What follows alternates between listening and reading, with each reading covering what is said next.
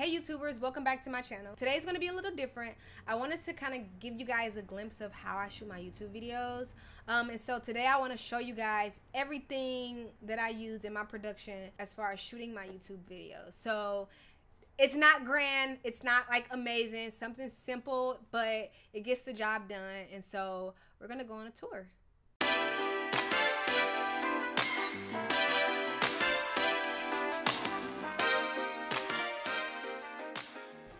So as you can see, the first thing is I'm sitting in a chair in front of my desk setup, which is where I do all my work.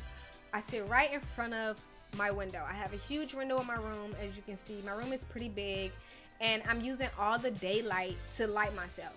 I do have a bounce, which is a whiteboard that I got from the dollar store, um, bouncing on my right side. It's like a science fair board and I basically clipped it onto a stand that I got, a cheap stand that I have and I'm allowing the light from outside to bounce onto the side of my face so I don't have a lot of shadow.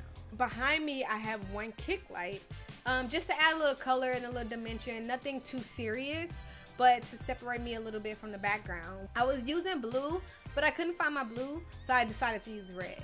And in front of me is my camera setup as well as my mic. So I'm gonna show you guys my mic setup. It's right in front of me. This is like my mic setup. Um, I use the H5 and it's, as you can see, it's a little tilted upwards so that it can get my voice. And then in front of me is my camera setup.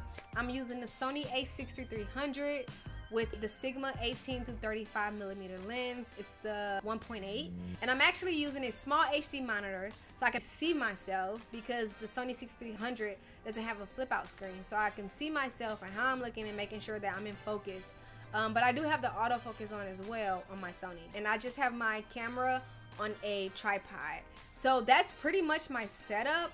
It's in my room. Again, I bought the white bounce from the dollar store for a dollar. And the, the kick light I got from Amazon. It was a cheap LED light.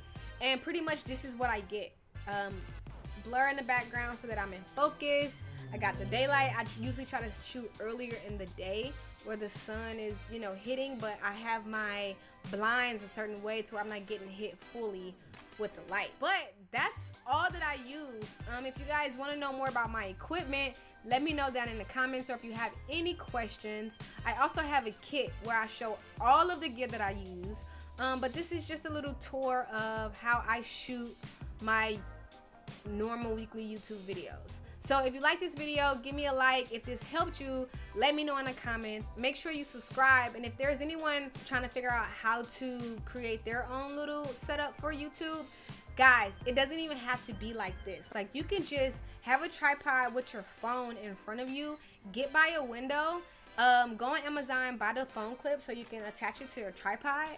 It's you get a tripod with the phone clip for $15 and you go right in front of a window and boom, you have a setup just like mine. Honestly, it could be that easy. It doesn't have to be anything like this. Don't let anything what you feel like you don't have stop you from creating. You can do this too with minimum equipment or cheap equipment. Like I said, a dollar for this white bounce. Like, come on, guys. And guys, you could do it. So, hope you like this video. Let me know if it helped, and I will see you guys soon.